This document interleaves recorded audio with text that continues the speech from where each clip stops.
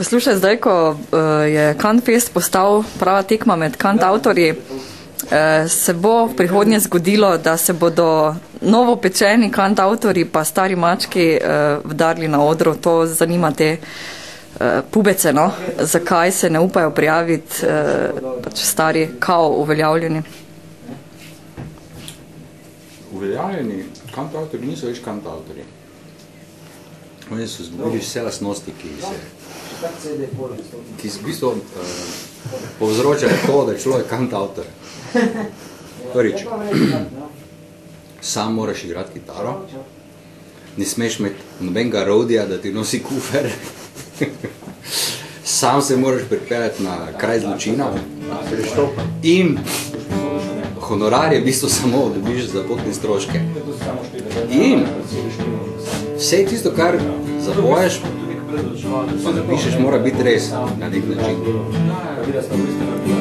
In vsi ti mlajši kantautori, ki so kantautori,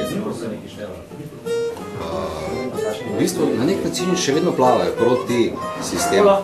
Zdaj nekdani kant avtorji, kaj bi rekel, Predin, Kreslin, bi rekel, da sta ona dva sploh kdaj to bila?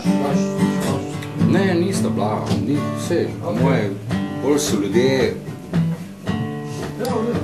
sili prilike njuji poimenovali kantautor.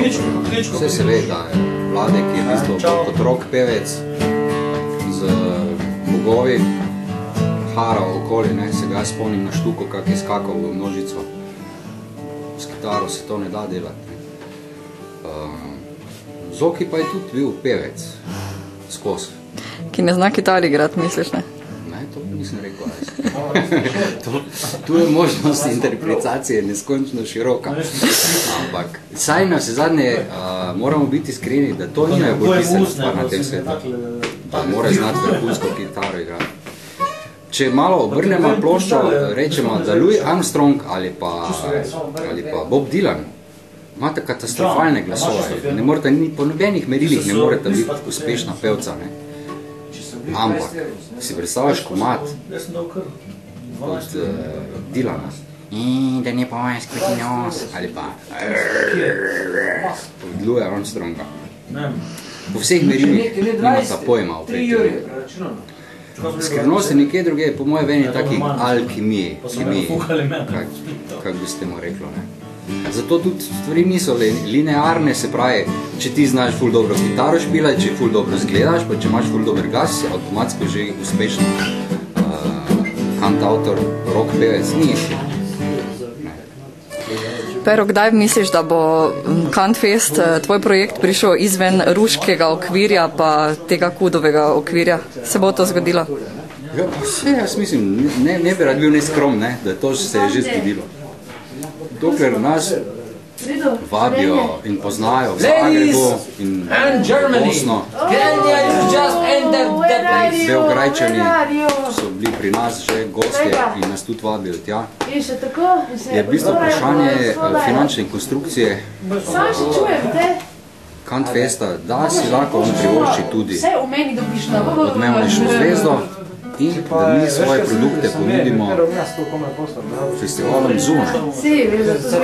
Tako da jaz vidim, da, da, da je smisel Kantfesta je ravno v tem, da ti avtori grejo na en festival zunaj in tisti festival pride sem k nam. Na zadnjem Kantfestu je v bistvu člana žirije zmotilo, da ga sploh gre za tekmo. Kaj misliš ti? Ja, ja, vse ne gre za tekmo. Mi, mi, si, mi smo kot otroci še vedno, ne?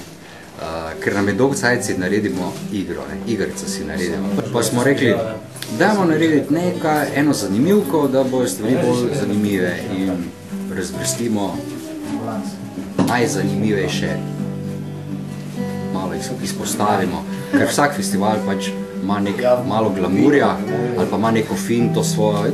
Naša finta je kanta, evo, zdaj smo začeli te kante proizvajati, Bog ve, kam nas bo zdaj na naslednjem naslednji Kantfest z temi nagradami prinesel. Valjda si bomo spet nekaj dobrega zmislili.